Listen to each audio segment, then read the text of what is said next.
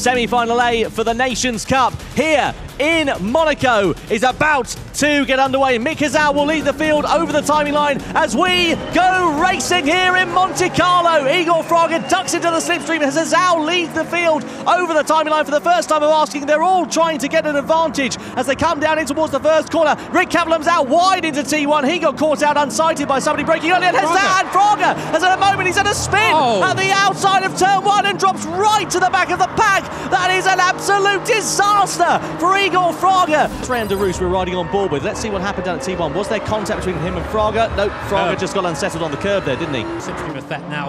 Um, again, a reminder, Igor Fraga, our champion from last year, currently, if the race ended, would be out of the competition in the first semi-final. So that is pretty crazy to think, but a long way to go just yet. We're on board with Adam Siswillo, currently in fourth position.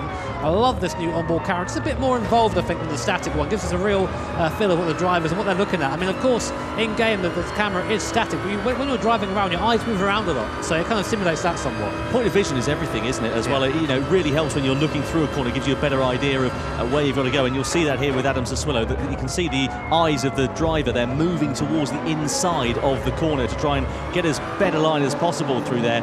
So Fraga just picked up a penalty, picked up a cut track penalty, and he was only about uh, nine tenths behind Kevin Pounder. But now that gap's back up to two seconds. It is not looking 1.8 seconds now. This is not looking good for Igor. This is not looking good at all. It's very interesting to see how it's all playing out between these wilds. Meanwhile, in the background, you saw Benjamin Barda and Jose Brea going hammer and tong as Adriano Carrazza muscled his way through into P9. We only caught the back end of that one. Was there any more contact between Carrazza and Barda? Because those two, uh, well, they've been running very close on circuit. And don't forget that Carrazza had that warning after the first corner. Here's what happened, Jimmy. So here we are then. Uh, it's Carrazza, and oh, I think he. I, He lost on his own, didn't he? I don't know. I'm not sure if he was held off there by Carrazza or not. I think he started to slide, and Carrazza just didn't really react to it. And here we are riding now on board with Igor Fraga. Out of the final corner, he's only got three laps now to do it here. Fraga, well, he's a man, he knows how to race under these conditions. He knows how to race under pressure. He does it in real life, and he has got a lot of pressure to at least secure his place in the repechage here, Jimmy. And he's going to drop right to the back of this little gaggle, and Fraga there into the back of Kevin Pounder. I think he was just running a little bit slower there through uh, uh, that corner was Kevin Pounder, and Fraga was just a bit unsighted. But, uh, well, this is going to get very interesting indeed. We're on board with Igor Fraga. We have Kevin Pounder in front where he has been for the last few laps. Kevin Pounder looks like he's going to just drive down the middle of the road. Igor, the last second, dives to the inside. Right up the inside then of Kevin Pounder, he goes and uh, Pounder tried to turn in there and there was a big Fraga on the apex, so no,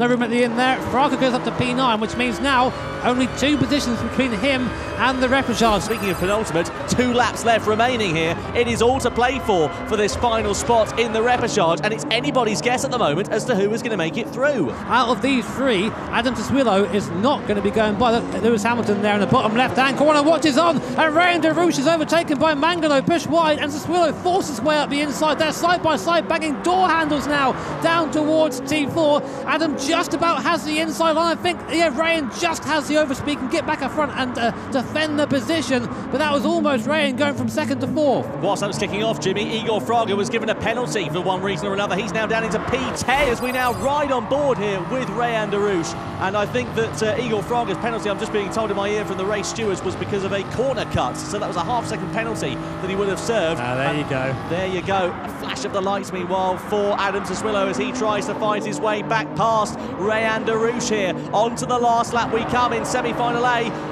I don't know what's going to happen, but it's going to be exciting. We come on to the final lap here of semi-final A. It's Mangano, Derrouiche, and Saswillo. One, two, three, or two, three, four, I should say. And Mick Hizal out in front, seemingly going to win it, but this is all in Rayan Derrouiche's hands right now. If he can defend just one more lap from the Briton behind, he'll be going through to the grand final automatically, whereas Saswillo will be going through to the repechage. We're running out of corners.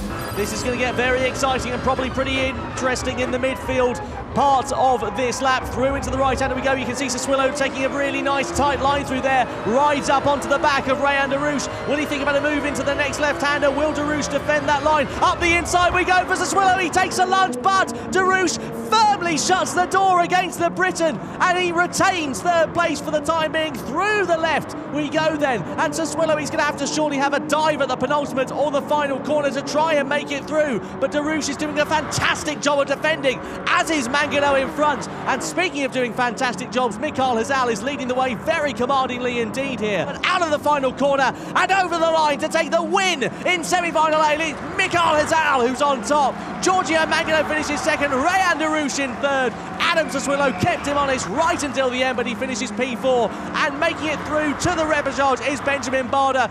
Breyer, Carrazza, Fraga, Pounder, and Kim Long Lee will go no further here tonight.